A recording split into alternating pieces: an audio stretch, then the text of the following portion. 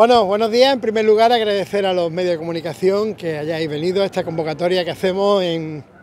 pleno corazón del barrio del Pilar, en la plaza de San Juan de Dios, un espacio que desde hoy, bueno, pues ya se abre al tráfico y al disfrute de, los vecinos, pues una semana antes de la Semana Santa. Creo que en tiempo récord pues ha tenido lugar la obra de remodelación de esta plaza que creo que está siendo del agrado de, los vecinos y yo creo que va a ser un sitio emblemático. Y volvemos en este caso a convertir y a conversar y a completar este eh, deseo, este impulso que desde el equipo de gobierno actual del Partido Popular y del Grupo Independiente por el municipio de Torre del Mar queremos darle al centro histórico, ¿no? porque hay que reconocer que en este caso afortunadamente pues las obras no han tardado, han tardado poco y han podido estar en perfecto orden de, de revista para la celebración de la Semana Santa, una fecha tan emblemática para esta ciudad, para este centro histórico, para esta zona y precisamente también como un guiño a nuestros hermanos, nuestros amigos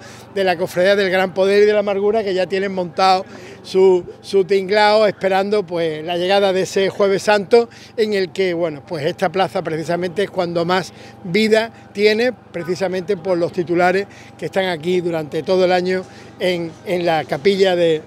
San Juan de Dios. ¿no? Quiero felicitar en este caso, bueno, pues a,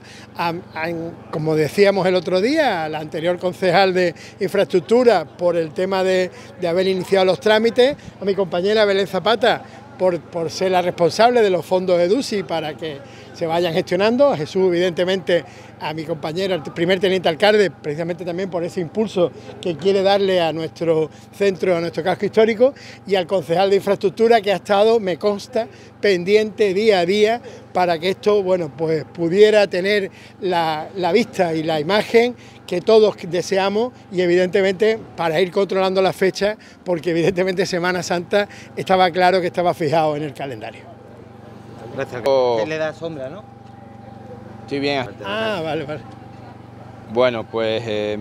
agradecer en este caso a los medios y la presencia de estar con mi compañero Jesús Lupiaña, alcalde de Belén Málaga, mi compañera Belén Zapata y Jesús Claro, también concejal del área de infraestructura y agradecimientos, en este caso también hay que decir ese agradecimiento a los vecinos por su,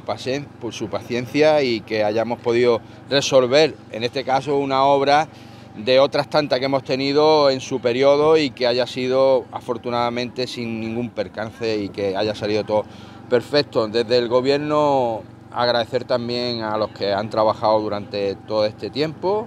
a mi compañero concejal de infraestructura, a mi compañera Belén Zapata por su magnífica labor al frente del EDUSI y a el anterior concejal Juan García al área de infraestructura. Y nada, en este magnífico enclave, centro histórico de Vélez Málaga, Plaza Juan de Dios, en ese histórico barrio del Pilar, que este gobierno va a seguir trabajando y seguir apostando por transformar esta ciudad. Eh, Vélez Málaga es un municipio amplio, disperso, pero el casco histórico de Vélez afortunadamente vuelve a inaugurar una importante obra. Muchas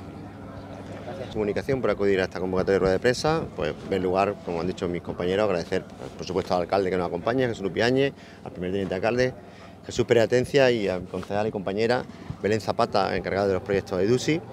Y bueno, como veis la plaza, como ya vimos ayer, seguimos una continuidad de todas las obras estas que habíamos empezado y esta en concreto pues empezó eh, justo una semana antes de la salida profesional que tenía la cofradía, a la cual le agradecemos que tuvo que cambiar el recorrido para empezar en tiempo y forma porque si no no estaría para Semana Santa. Agradecer a la empresa Lasor porque sí han cumplido y teníamos día 15 de marzo como finalización de obra y hoy es 15 de marzo y ha cumplido en tiempo y forma como he dicho, una obra súper compleja de ser un cruce entre distintas calles como Salvador Rueda, como es San Juan Bautista, eh, San Juan de Dios, calle Tenería, calle Vicario, y que además hemos tenido que meter un colector en todo lo que es calle eh, Tenería para conectar con la siguiente calle, con todas las conexiones, tanto pluviales, saneamiento, y además dejar la línea, una línea de alta y una de conexión de, línea de, fibra para el móvil que también estaba por la calle eh, Jiménez Poey. O sea que al final mm, se han también reestructurado distintas, tanto árboles como farolas, porque se ha tenido muy en cuenta donde está la plaza y por donde cual pasa mm, la mayoría de las procesiones de, nuestro ayuntamiento, por lo tanto la, importante, la importancia de esta plaza, pues se ha modificado pues, los contenedores soterrados un poquito más adentro, las farolas también, se han puesto pivotes en toda la plaza eh, que sean desmontables para ese paso procesional y luego el guiño que se le dado a la plaza como son los varales de, la cofradía que, de la cual eh, sale aquí y la cruz de, San Juan que también que este está aquí. Por lo tanto, como veis, eh, una calle hecha para el peatón, para que mm, pueda circular perfectamente, la parte central de adoquines de granito y la parte lateral y de plaza, pues de loza también de granito con unos bancos iluminados, incluso con la plaza. La luz también LED, que como se hacemos en toda la obra, y los árboles que hemos puesto pues son laureles, que es lo que Por lo tanto, eh, seguimos continuando con la obra, la única que nos falta ya por terminar aquí en Vélez, que es la Constitución, esperemos que esté lo antes posible y estamos encima de ello. Muchas gracias. Días, como concejal responsable de, la EDUCI, puedo decir que estoy muy contenta de estar nuevamente en la inauguración de una de las obras ejecutadas por los proyectos EDUCI junto a mis compañeros.